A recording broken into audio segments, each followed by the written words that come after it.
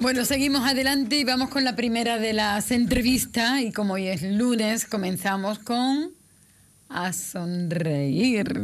Hay que sonreír a la vida y si se puede hacer con la mejor de la sonrisa y los mejores dientes y mejor cuidado, pues mejor que mejor. Y aquí en esta casa, cuando decimos eh, bien cuidado, hablamos de una gran profesional que, por cierto, le acaban de dar un premio hace muy poquitos días y ha quedado la tercera de mil y pico de doctores que presentaron sus trabajos. Ana Anglada, felicidades, muy buenos días. Muchas gracias, buenos días. Me tiene que contar eso del premio, cómo ha sido y por qué te lo han dado y qué es lo que has presentado y todo eso.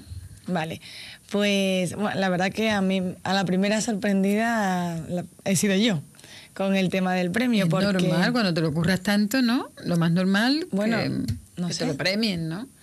Sí, pero cuando tampoco es algo que te planteas, pues cuando te llega de repente es como, wow. Claro, en realidad yo me emocioné un poco con la idea de decir, bueno, o sea, es verdad que llevo ya muchos años invirtiendo en esto, entonces mm, es un poco el premio, creo yo, a esa inversión de tiempo y de dinero, en realidad. Así que estoy muy contenta con el tema. muchísimo. ¿Y en qué ha consistido y por qué te lo han dado? A ver, cuéntanos un poquito. Vamos a desgranar el premio. ¿Por qué ha sido? Bueno, resulta que Invisalign que es la técnica de ortodoncia invisible, de la que ya hemos hablado muchas veces, pues eh, es el producto que elabora una, empresa de Estados Unidos que se llama Align Technology. Vamos a recordar para las personas que no lo sepan que Invisalign, ¿qué es lo que es? Sí, Invisalign es eh, una técnica de ortodoncia para colocar los dientes en el sitio correcto que va eh, utiliza en vez de los clásicos brackets los clásicos hierros que se pegan a los dientes, utilizan las férulas transparentes como las que yo llevo ahora mismo. Que no se notan ni se ven. Que ¿eh? son Para nada. Cómodas. Y se van cambiando cada aproximadamente dos semanas, modificando poquito a poco la posición. Entonces vamos de un principio al fin por medio de pequeños pasitos. Eso es la técnica Invisalign. Entonces, los que fabrican Invisalign son Align Technology, eh, desde Estados Unidos. Entonces, han conseguido hacer una red a nivel internacional. Entonces, han formado a doctores, a ortodoncistas. Eh, te digo, ya han llegado hace poco ya bueno, relativamente poco abrieron también el, mercado chino, que es complicado porque suministrarle a China, imagínate, es un boom. Entonces, a día de hoy creo que está en prácticamente todos los países desarrollados. ¿Qué ocurre? Que mm, una de las cosas que tiene eh, esta técnica es que como todo el software, o sea, eh, para la fabricación de los alineadores, tenemos que mandar unos registros a la central, pues esa información ellos la pueden utilizar para sus mejoras pero también la pueden utilizar, y es lo que han fomentado, eh, utilizarla para, que cree, para crear una galería internacional a la que cualquier doctor puede acceder para enseñarle a un caso que se está planteando hacerse un tratamiento de Invisalign. Entonces, a mí me llega a la clínica un caso concreto que a lo mejor eh, no he tratado y, yo me podría ir a, la Galería Internacional y buscar un caso similar y entonces a lo mejor es un doctor de Alemania o de Australia que ha tenido un caso muy parecido al que yo voy a tratar. Entonces a ese paciente yo le puedo enseñar esas fotos del antes y después de ese caso en concreto para que vea que con la técnica es posible. De, esa forma le explicas un poquito mejor. El antes y el después a mí personalmente no me gusta enseñar casos de otros, de, otros doctores, me gusta enseñar mis casos. Pero es verdad que si algún paciente en concreto quiere que le enseñes eh, un caso muy, muy parecido al suyo... Para ver cómo va a quedar él. A veces sí necesitaría irme a la galería. Entonces, esa galería se está creando gracias a que los propios doctores mandamos los casos para que esos casos sean aprobados como casos que están correctamente eh, realizados, que tienen unos registros correctos, unas fotos buenas, y entonces te aprueban el caso y te meten el caso en la Galería Internacional. Entonces, yo cogí uno de mis casos que me gustaba bastante y dije, ah, bueno, pues yo creo que este caso puede ser interesante porque era un caso que además mm, venía de un diagnóstico de, de otros dentistas de, totalmente diferente al mío. Y entonces, eh, eh, con la ortodoncia clásica, en este caso, le querían hacer extracciones de dientes y yo cuando la vi del tirón mm, pensé, ni de broma extracciones. Con lo cual, un poco fue el motivo de, que la paciente, para que la paciente dijera, bueno, pues la verdad es que me, suena, me, suena lógico, más lógico lo que me estás diciendo tú que lo que me han dicho. Y quiero, quiero ver Probarlo y ver cómo queda. La verdad que en ese momento, cuando yo traté a esta paciente, eh, probablemente era la paciente con mayor apiñamiento que yo había tratado. tenía la parte de abajo súper, súper estrechita, así como en forma, en forma triangular. Y entonces, como yo ya me había dado cuenta que Invisalign, una de las cosas que hace muy bien es darle la forma a la arcada, poner redondita, eso lo hace fenomenal. Lo que es expandir mediante los alineadores es uno de los movimientos más predecibles, o sea, funciona muy bien y muy fácil, relativamente fácil. Entonces dije, yo creo que este caso se puede tratar bastante bien y en realidad fue mejor de lo que yo pensaba. Entonces en tiempo se redujo en tiempo a lo que yo pensaba. Se quedó en un tratamiento que no llegó a dos años, lo cual era impensable al principio. Y como la paciente además fue muy colaboradora y, estaba todo el tiempo con los alineadores puestos, pues el resultado fue muy bueno. Entonces me animé a publicarlo, me, lo aprobaron.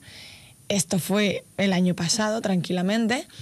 Y de repente el otro día me, me mandaron un mensaje y me dijeron, enhorabuena porque tu caso eh, le han dado un premio, el tercer premio anual de los que hacen a nivel nacional eh, de la Galería Internacional. Y yo, ¿cómo? Nos alegramos muchísimo y será el primero de muchísimos que tiene que recibir, ¿no? Bueno, no sé. Por, El, por el esfuerzo, por el trabajo y por el sin vivir la pasión que pone en todo lo que haces. Bueno, ¿Mm?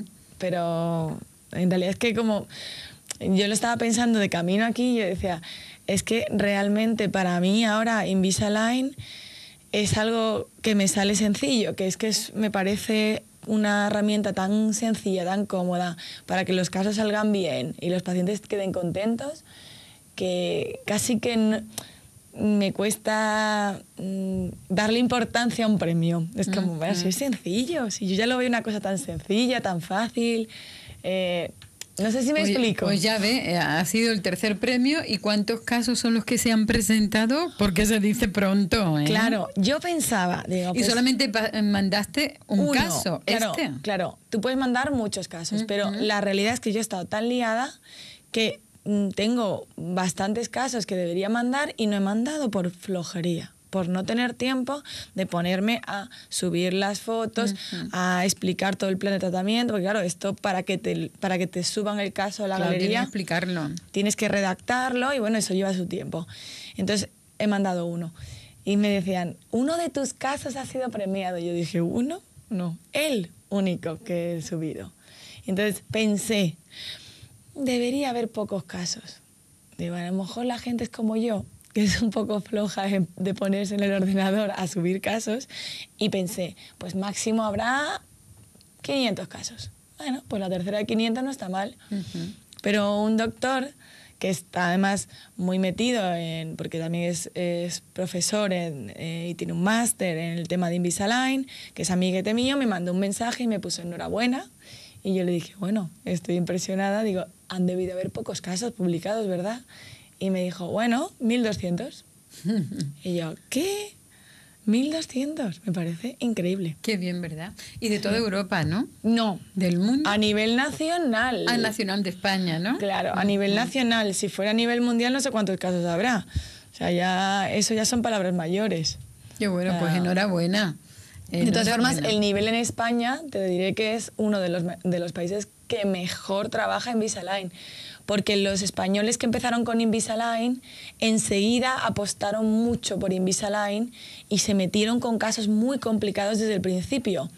Entonces, eh, en el resto del mundo han empezado como más pasito a pasito, los españoles son más atrevidos, yo creo, y entonces tienen casos muy buenos pero muy sencillitos. Entonces, eh, para los doctores, ver un caso sencillito mm, que se corrija con Invisalign y quede bien, pues es como, bueno, normal. Pero cuando ves un caso muy complicado que lo han conseguido corregir con Invisalign, esos son los que nosotros, que somos los que votamos, somos decimos, uy, este, este es bueno, este nos gusta, este es increíble.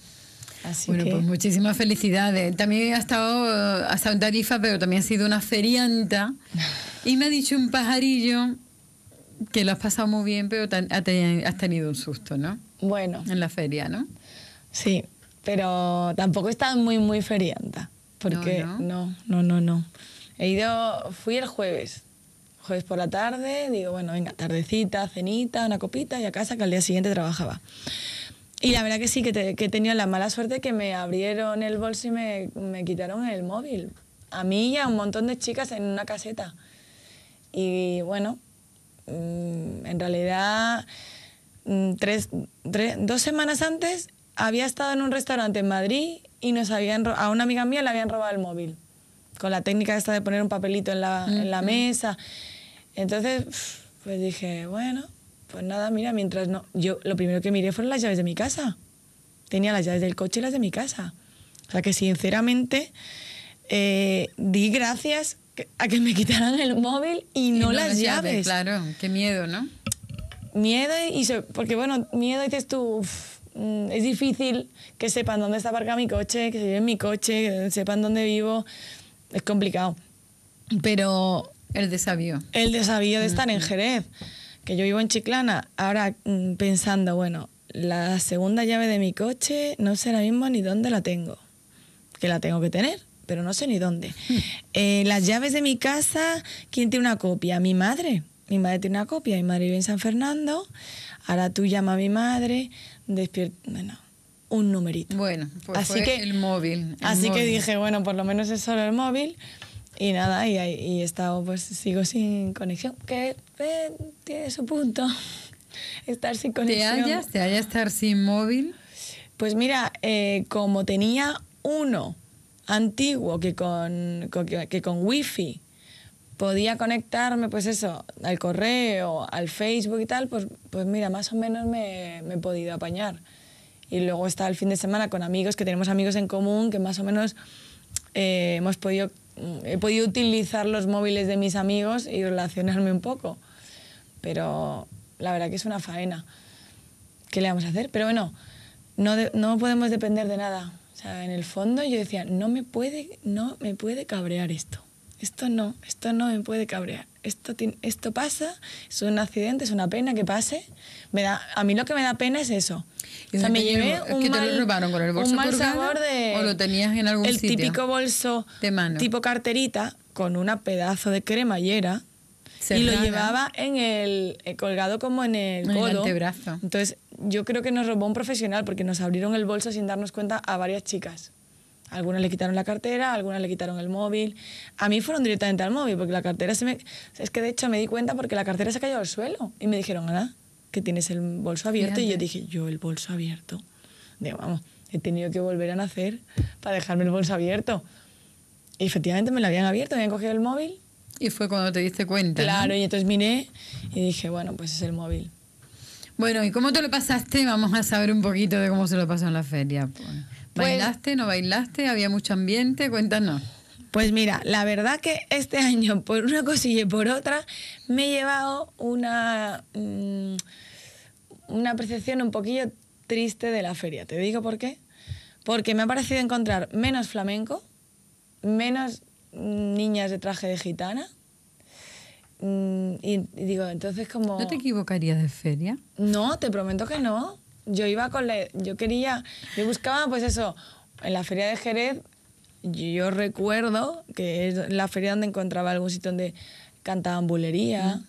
El flamencorro bueno. ¿Pero dónde te metiste, Ana? ¿Dónde pues te estuve en, varias, la discoteca, estuve, seguro? Estuve, busca, estuve moviéndome en varias. En la caseta del tío de Paula, allí ahí siempre pues, flamenco. Pues es porque no, no, no fui bien asesorada, debe ser. Porque de verdad que mm, vi varios mm, grupitos pero eran grupitos de flamenquito de este comercial. Y digo, bueno, sí, eh, está bien, es divertido, pero no Yo es... quería el puro, la esencia. Yo quería, sí, es la verdad. Entonces, entre eso y que me quitaran el móvil, pensé, para empezar, ya era yo, digo, ya era muy tarde para que estuviera yo en la feria. O sea, Ya se te habían quitado las ganas de todo, chiquilla. la, claro, digo, es mejor la feria, digo, la feria que me Entre gusta a mí, Desde que ha hablado de, de que fue a la feria, ha dicho tres veces que al día siguiente tenía que trabajar. claro. Pero es que ¿Y para qué fuiste a la feria? Pero es que me he dado cuenta que a mí lo que me gusta es la feria de día. Es que es la ¿Y realidad. para qué va de noche? Bueno, porque fui de tarde noche, porque no, no podía ir en otro momento. Bueno, y porque es verdad que ha hecho un calor, Mm, La verdad es que eso es sí. una faena. Que yo me quería vestir y no me, no me puse traje de gitana, porque es que no tenía narices de ponerme el traje de gitana. Mucho calor, ¿no? Qué pena. Entonces digo, Bueno, todavía quedan ferias, ¿eh? todavía... Todavía quedan ferias. Y mañana se van los de Cádiz el Rocío. Ay, yo me quiero... puede yo acompañar? Este año Los puedes acompañar. Por lo menos está bajo de guía. me Y decirle encantaría. adiós. Me encantaría, pero imposible. Ahí trabajando. Trabajando. Que no falte. Pero el año que viene me quiero ir al Rocío otra vez. ¿Haciendo el vez, camino? Sí. ¿Sí? Sí, la sí. semanita entera. Bueno, semanita no. Eh, irme desde el miércoles por la tarde y hacer... Pero haciendo el camino. Sí, sí, sí, sí. ¿Y sí. cómo fue? Yo lo hice hace un par de años con Jerez. Me encantó. Me pareció Y increíble. cuéntame, cuéntame cómo fue ese camino. Pues mira, fuimos eh, casi todo el grupo, ten- eh, íbamos a caballo. Entonces, bueno, yo iba a la grupa, pero yo la siguiente vez quiero ir con mi caballo. Entonces, eh, para mí era una novedad, yo nunca había ido al Rocío. Entonces me pareció precioso todo el coto, el cruzar el coto me pareció alucinante, es algo que tienes que hacer. Eh, la gente me pareció encantadora, como buen ambiente, la- por supuesto muchísimo, muchísimo flamenquito, muchísimo, mucho grupito, mucho cante, mucho baile, a mí eso me gusta. Entonces es algo que al que le gusta la naturaleza, mm, pues eso, el, el flamenco y Y momentos emocionantes. Pues De sentimiento y de Sí. espiritualidad por el camino. Totalmente. ver, O sea, dime te un emo- momento es que te emocionas. Pues, por ejemplo, cuando llegas por la noche y todo el mundo va a rezarle a la Virgen, entonces le, le rezan cantando. Y entonces hay gente que, mm, yo no sé si se están improvisando sobre la marcha o son canciones que ya se saben, pero o sea, se te ponen los pelos de punta. O sea, a mí me pareció increíble de saltarse las lágrimas. Además, eh, termina uno, empieza el otro, mm, todo el mundo callado, en silencio. Me pareció súper bonito. Y luego también fuimos a una misa rociera que me, me encantó. Todo el mundo con los caballos. Estaban- ¿Ya en la aldea almonteña? No, no, no, en el camino. En el camino, ¿no? Eh, por la noche. eh, No, el mañana. por la mañana, el ángelú por la mañana. El- no, pero esto fue una misa. A las 12 del mediodía. No te, no, te, no te sé decir exactamente dónde era, pero era en, en un cerro. Y me pareció precioso porque, eh, claro, es como una misa de campaña, digamos. Los impecados todos juntos y las carretas alrededor. Exactamente. Y los caballos todos formados. Es precioso. Todo el mundo calladito, porque además que, es que si no te callas no se oye nada. Y era toda cantada y tal. Y me pareció precioso. Y al aire libre, ¿no? Con la Sí. naturaleza, ¿no? Sí, muy bonito. ¿Y la, el amanecer cuando te despierta por la mañana? ¿Cómo es ese momento? Hombre, mm, es que mi, mi año hacía muchísimo frío, muchísimo. O sea, fue hace dos años y estábamos muertos. Con lo cual las mañanas, ese momento de Pitero, levantarte... ¿eh? despertando a la gente, ¿qué ocurre? sí. Pues en nuestro caso es que estábamos tan helados que era un poco durillo Que levantarse. se fueron las carretas y se quedaron ellos allí durmiendo. No, no, era, eh, de verdad que era complicado porque ya conseguías entrar en calor dentro de la tienda de campaña y cuando te levantaban todavía el sol no calentaba mucho y, y era, era durillo ponerse en marcha, vestirse, pegarse un limpiadillo, claro. Porque ahora dúchate sin agua caliente. Nuestra ducha era sin agua, no tenía agua caliente. Entonces, bueno, decía, bueno, un lavadillo, pero es que te costaba la misma vida ponerte con el tema y ahora... mm, o sea, era durillo. Pero luego es verdad que una vez que te activabas y, como digo yo, otra vez la flor en la cabeza y ya desayunando allí con todo el mundo. No sé, me pareció como muy bonito, una convivencia muy bonita. O sea, como eh, disfrutando, pues eso, de la naturaleza, de, pues eso, de ir La a- vida, las Sí. personas, ¿no? Y me- a mí me gustó porque es un poco, eh, pues eso, ir a- dándole gracias a, a Dios por lo que tenemos y a la Virgen, ¿sabes? Y ya luego en la aldea muy bonito. ¿qué es lo que más te gusta? Pues mira, la aldea la verdad es que no me quedé a dormir. O sea, llegamos y estaba tan cansada que nos quedamos ese día y ya me, me volví. A mí la, mm, la aldea me parece una maravilla, es preciosa. Es como si entras en, una, en un plato de televisión, de un rodaje, de lo, no sé, como del oeste o algo así. ¿Y la Virgen? Súper Cuando bonito. fuiste a verla. Claro, luego fuimos entrando a caballo y, y me pareció muy emocionante el, ese paseillo que dan por delante de la Virgen. Me pareció súper emocionante. Vamos, me, mm, yo que nunca lo había hecho y que tampoco soy rociera a muerte, no lo he, tu primera vez, vamos. Claro, yo nunca lo he vivido, pues me pareció muy emocionante. O sea, había gente, bueno, había gente nerviosa, llorando. Yo a ese extremo no llego. Pero eh, puedo entenderlo que alguien que lo haya vivido tanto le emocione, porque es muy bonito. Entonces, eh, mm, ya, ya mm, tanta multitud mm, de ir a de ponerse aquí a pelearse por tocar, y eso me parece exagerado. O son extremos que no, que no me gustan. Pero lo que yo viví fue precioso. Bueno, pues tienes que, tienes que ir otra vez, ¿eh? porque la ¿Tú has primera vez... No, yo he conectado con el camino y es como si hubiera ido, porque he estado conectando muchísimos años y lo han Pues ido contando. Y es bonito, la verdad. Debes ir porque te va a encantar. Lo que pasa es que para mi gusto, cuando ya llegas a la aldea, pues eh, mm, no, es lo, no es lo mismo que el camino. Para mí el camino es lo, lo chulo. O sea, hacer toda la peregrinación. Una vez que llegas a la aldea, eh, pues claro, ya te quedas en una casa. No, pero lo Eh, grande de todo el camino es que vas a ir a verla a Claro, ella. ¿eh? claro. Eso es lo importante, ¿no? Y que luego cu- cuando sale ella a ver cada una de las hermandades y de los impecados, ¿no? Eh, visitando a, a cada uno de los hijos, ¿no? Que han hecho el camino y que un año más, ¿no? Ha ido al encuentro con ella y con el divino pastorcillo, ¿no? Eso es muy importante. Exactamente, pero Y que luego una el vez que has salto al monteño eso, y luego la, el- la misa de Pentecostés, ¿no? el pontifical, ¿no? Eso es muy bonito con todos los sin pecados. Momentos muy bonitos. Tú tienes- es que tú no lo has vivido todo. Solamente Claro. el camino, eh, esa no- tarde que te quedaste porque estabas muy cansada y luego te marchaste, pero tú lo de la aldea y todos los momentos emocionantes del rocío, eso no lo has vivido todavía. No. In situ. Pero ya te digo que para eso hay que estar preparado, física y mentalmente, porque es una paliza importante. Es muy bonito y, y yo lo recomiendo a todo el mundo que lo haga. Pero y claro, ya, es que en la aldea ya, ya esto cada uno tiene que verlo. A mí las multitudes de verdad que no, que no me gustan nada. O sea, no, lo paso mal, además. O sea, me agobio, no me prefiero mm, mantenerme un poquito al margen de, de esa gran multitud, que, que es lo que me parece que yo me perdí. O sea, el camino es más tranquilito, hay gente, o sea, vas con, con grupitos, tal, pero no es esa exageración de Algarabía, gente. ¿no? Sí, sí, a mí eso. Pues se nos ha ido el tiempo. bueno, como siempre. A ver, eh, algo más antes de marcharnos. Pues no sé, no se me ocurre ahora mismo nada más que decirte. Que todos ustedes ya saben dónde pueden ir, ¿no? Para que tengan la dentadura lo más sana posible y lo más bonita posible, que todo se puede conseguir. No solamente tenerla sana, sino también de- en las mejores condiciones dispuesta para sonreírle a la vida, ¿eh? con la mejor de la sonrisa. ¿A qué teléfono tienen que llamar? ¿En dónde está y en qué página web se tienen que meter?